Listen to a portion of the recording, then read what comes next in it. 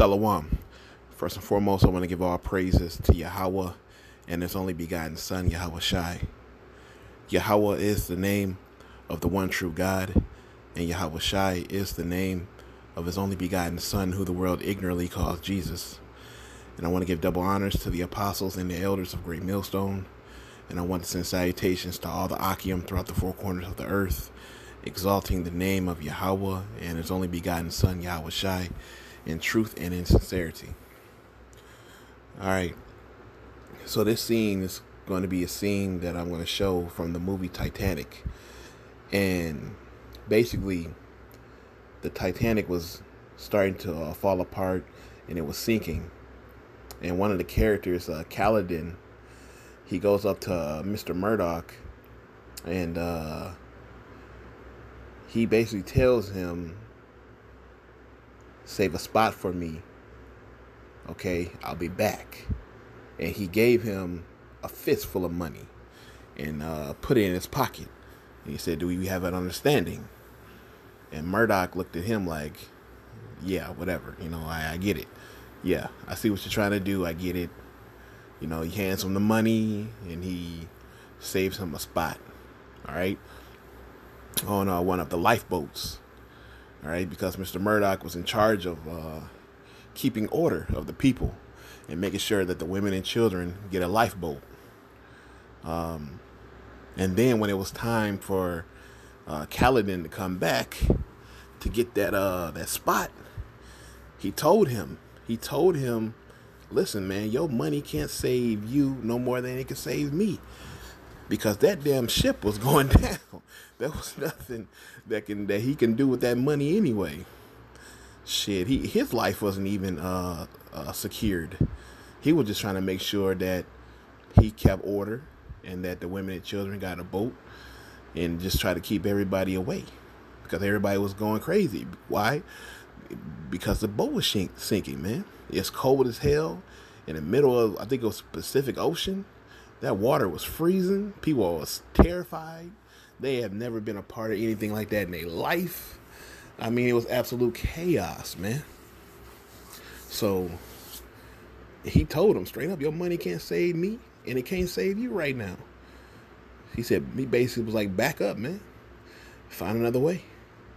And and and basically the point I'm trying to make is that our, your money ain't gonna save you in these last days it's no it's no problem with making money, but when you are using that as some type of um, collateral to get you into the kingdom, it won't happen. You can ask the rich man about that. He thought he can buy his way into the kingdom, and the Lord told him he couldn't. You know, because you got to have faith and you got to repent, for the kingdom of heaven is near. That's all you got to do is simple. But Jake don't like the simplicity of the Lord. They want to do it their way because their way is the comfortable way, which is why people um, continue to fall to fall victim to the flesh because they don't want to resist the devil. They don't want the devil to flee. They want to dance with the devil because the Bible says if you resist the devil, he shall flee.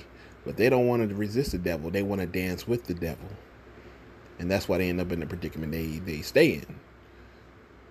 So I'm gonna play this clip and then I'm gonna get a, a couple scriptures, man, because your money is not going to save you. Your your image, your reputation, none of that to this world. It will not save you. The only thing that will save you if you truly have faith and you endure to the end. And you believe on the names of Yahweh while Yahweh Shai. Stop pushing! Give us a chance to live, you limey bastard! I'll shoot any man tries to get past me! Get back! Bastard! Get back! Got a deal, Dad. Any more women and children? Your money can't save you any more than it could save me. Get back! Women and children out there! You see the chaos, man, under pressure. That's how it's gonna be out here, man, these streets, man when all chaos break loose and all hell breaks loose and everything, man, people gonna realize that their money cannot save them in that day. This is Ezekiel 7 and 15. it says the sword is without, and the pestilence and the famine within.